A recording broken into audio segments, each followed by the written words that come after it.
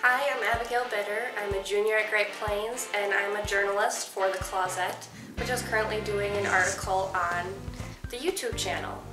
The Clawzette is our newspaper. It comes out monthly. This month it's coming out on the 29th. We um, print off a bunch of copies and just spread them throughout the school.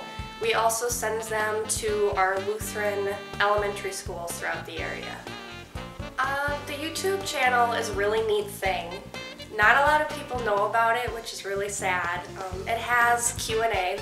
Um, it has all the basketball highlights, and it's great for parents who might not be able to get to see, come and see the games all the time, especially if you're an out-of-state parent.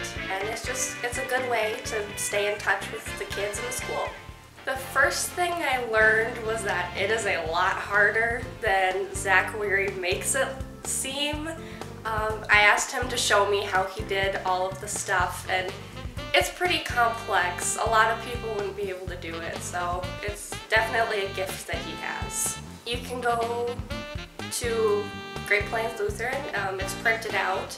It'll be in the office commons or in the lunchroom, just kind of circulated throughout the school. And if you go to all of the elementary schools, they'll have copies of them there too. So hop on in and grab a copy.